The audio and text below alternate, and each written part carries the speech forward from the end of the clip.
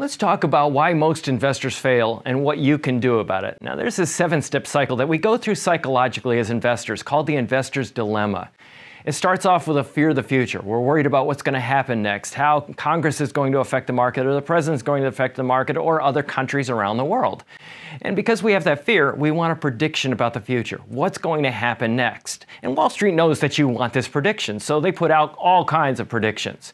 Well, what we do to figure out who has the ability to predict the future is look at past performance. Who beat the market in the past? Problem is, markets go through cycles. They go up and they go down. And when we invest based on past performance, quite often we're buying high. We're buying after something has done well. And then we get overloaded with information. Everybody tells us that they're the best and they have the best research and they're the best investors ever. And we finally just go, forget it. I can't understand this stuff. I don't trust anybody. I don't know what to do. And our emotions take over. You know, we have fear that may kick in after a market downturn or greed when we see somebody that's beaten the market for a while. Our friend tells us how well they've done recently. Or maybe it's trust. You know, I've just worked with this person forever. I just trust them and it's blind trust.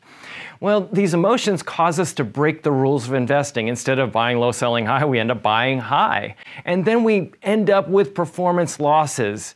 We end up not necessarily losing money, but maybe we don't get the returns that we should have gotten. Maybe the returns are lower than what the market did. And then we end up at the beginning of the cycle all over again. The only way to get you out of this is for you to become an educated investor. Know how markets work, where returns come from. You don't have to know everything, but there are certain things that if you understand them about investing, it's really hard to take advantage of you as an investor, and you have a lot more peace of mind and, and a lot less stress about investing because you understand what you're doing, why you're doing it, and how things work.